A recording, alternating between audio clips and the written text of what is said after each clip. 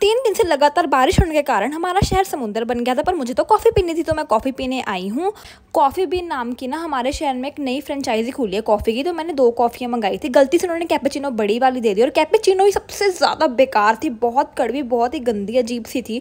फिर ना जो उन्होंने दे दी थी कैरमल मक्किया तो ये बहुत ज़्यादा अच्छी थी यार। मैंने अपने फ्रेंड को कैरमल वाली कॉफ़ी टेस्ट करवाई, इसने मुझे वापस ही नहीं की।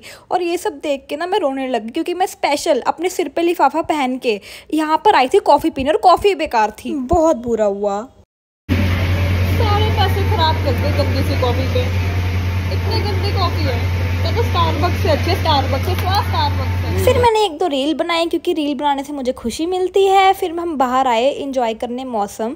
लेकिन मौसम कहाँ इंजॉय होना था? मच्छर ने काट काट के बुरा हाल कर दिया था हमारा। मतलब सारा का सारा एक्सपीरियंस ही ख़राब हुआ। इसके इससे अच्छा तो मैं घर पे जाके कोल्ड कॉफ़ी बना लेती बर्फ़ डाल के।